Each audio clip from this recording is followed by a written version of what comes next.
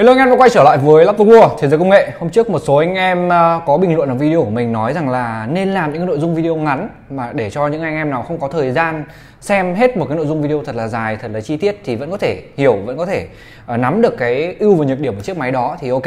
Hôm nay mình sẽ thử trên chiếc Legion 5 Pro ở đây nhá. Với cái chiếc máy này thì em nó sẽ có mã là 16ITH 6H để cho anh em có thể tìm kiếm. Với chiếc máy này là một chiếc máy mà đã có lẽ là cũng không có gì phải nói quá là nhiều với em nữa rồi. Không phải giới thiệu quá nhiều rồi. Một chiếc máy gaming đồ họa rất khủng đến từ nhà Lenovo.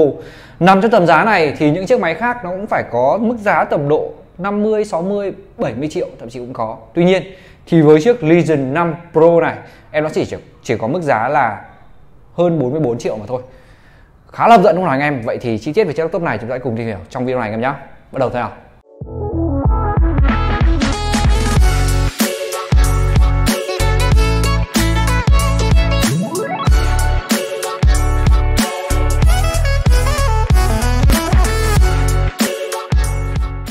Với phiên bản hôm nay mình mang cho anh em là phiên bản màu trắng. Trắng gọi là trắng tinh khôi luôn đấy Đẹp cực. Nhìn ở bên ngoài rất đẹp luôn với cái màu sơn nó hơi mết mết một chút và phần mặt lưng. Đây là cái logo uh, Legion Và nếu mà mình không nhầm thì khi mà chúng ta cắm sạc vào nó có thể phát sáng lên anh em ạ. Phát sáng lên một cái màu rất đẹp. Và với cái bề mặt này thì nó sẽ không hề bám mồ hôi vân tay cũng như bụi bẩn lên đây. Chúng ta vẫn luôn có một chiếc máy nó cực kỳ là mới cũng như cực kỳ là sạch. Đối với phần mặt lưng. Và đến bên trong của máy thì đây. Quá đẹp đúng không anh em. Bên trên viền màn hình cực mỏng. Đấy, phần hình cực mỏng bên trên cũng rất mỏng vì dưới cũng thế. Và bàn phím thì họ làm cho chúng ta một cái phần bàn phím cũng là hoàn toàn màu trắng luôn. Trông cực kỳ là đẹp trên chiếc laptop này. Đầu tiên thì mình sẽ đi qua nhanh về phần màn hình của cái máy này. Màn hình của Lenovo luôn là những chiếc màn hình được yêu thích trong cái giới laptop gaming. Tại vì sao? Vì Lenovo họ luôn cho chúng ta một cái mức độ bao phủ màu nó rất là cao 100% sRGB kể cả những dòng laptop giá trung bình luôn. Tầm độ hơn 20 triệu một chút là đã có 100% sRGB rồi. Làm gì có hãng laptop gaming nào có đúng không nào anh em?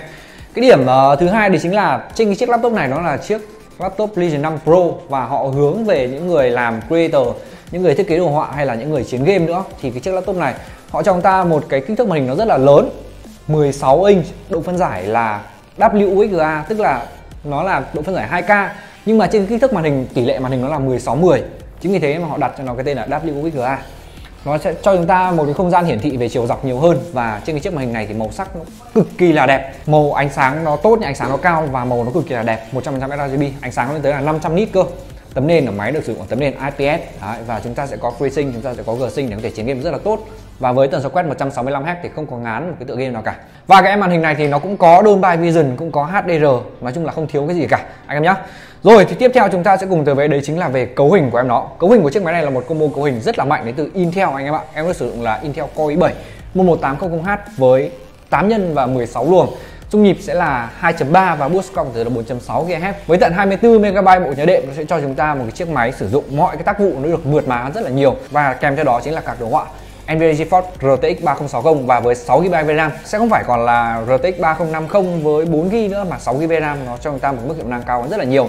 Những anh em nào mà học về kiến trúc, thiết kế, những em học về đồ họa, creator các thứ ấy hay là những em làm về những ngành đó có thể xử lý được rất là tốt trên em máy này. Và một chiếc màn hình tỷ lệ là 16 10 nữa, cho cho ra không gian về chiều dọc nhiều hơn, có thể xử lý được nhiều công việc trong cùng một lúc hơn. Đấy chính là cái điểm mà mình rất là thích trên chiếc màn hình của em máy này. Và quay trở lại với cấu hình của em nó chúng ta sẽ có 16 GB RAM bởi hai thanh 8 GB dual channel và bus RAM sẽ là 3200 có thể thay thế và nâng cấp, anh em nhé, lên tới 64 GB và SSD là 512 GB SSD nữa cũng là M2 PCIe và em nó có thể nâng cấp lên tới là 2 TB cho anh em luôn. Nói chung là khả năng nâng cấp của những chiếc Legion thì quá là thoải mái rồi. Qua về thông số cấu hình cũng như là màn hình của em nó, hai cái điểm mà khiến cho mình rất là yêu thích trên chiếc máy này. Và tiếp theo thì sẽ là về pin của chiếc Legion 5 Pro này. Thì em nó được trang bị viên pin là 4 cell và 80Wh cho chúng ta một cái thời gian sử dụng pin khá là trâu lên tới 7 tiếng đồng hồ ở chế độ tiết kiệm pin. Chế độ màn hình, mức độ sáng trung bình và sử dụng những tác vụ cơ bản thì anh em có thể tha hồ sử dụng trong một ngày luôn. Đấy chính là với pin nhá. Và cái cục sạc đi kèm của em nó này. Cục sạc công suất là 300W cục sạc 300W bình thường mình cầm một cái cục sạc 280W thì thấy nó quá là to rồi mà cục sạc này là 300W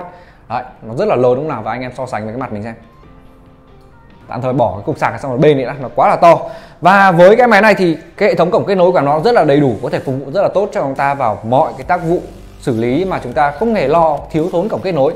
Mình sẽ đi qua lần lượt các cổng kết nối nhá. Đầu tiên là bên cạnh trái của máy, chúng ta sẽ có ở đây là một cổng USB Type C và đi kèm đấy là Thunderbolt 4 anh em ạ. Với Thunderbolt 4 chúng ta có thể sử dụng rất là nhiều chuẩn qua cái cổng này. Và tiếp theo đấy chính là jack audio 3.5 này. Sang cạnh bên phải của máy, chúng ta sẽ có một cổng USB Type A, đây là 3.2 Gen 1 và một cái lẫy đóng mở webcam. Với cái lẫy này thì chúng ta có thể gạt tắt ở đây và nó sẽ ngắt nguồn điện trực tiếp từ webcam luôn. Và xuống cạnh đáy của máy sẽ có đây là rất nhiều các hệ thống cổng kết nối khác đầy đủ trong ta luôn. Đầu tiên sẽ là cổng sạc này, một cổng USB Type A có thể sạc ra các thiết bị khác này, một cổng HDMI một cổng USB Type A nữa cũng là 3.2 Gen 1 một cổng USB Type A nữa cũng là 3.2 Gen 1 một cổng USB Type C nữa, cũng là Thunderbolt 4 và cuối cùng sẽ là một cổng mạng LAN. Và như vậy là anh em đã có tới mấy cổng USB nhỉ? Xem nào. 1 này 2 3 này 4 này 5 này 6 này.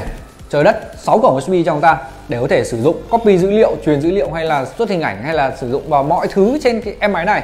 Vô tư thoải mái anh em ạ. Đấy, và cuối cùng sẽ là về hệ thống tản nhiệt của em máy này.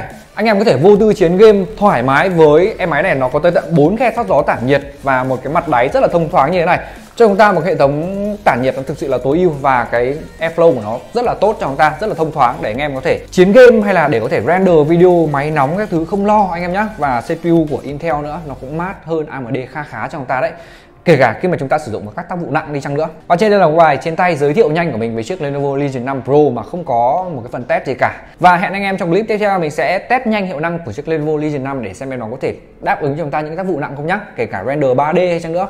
Liệu em nó có cân được không? Hãy cùng chờ đón trong video tiếp theo nhé và đừng quên subscribe channel Laptop World để có thể nhận thêm thông báo về những video mới nhất. Còn bây giờ thì xin chào và hẹn gặp lại anh em trong những video tiếp theo.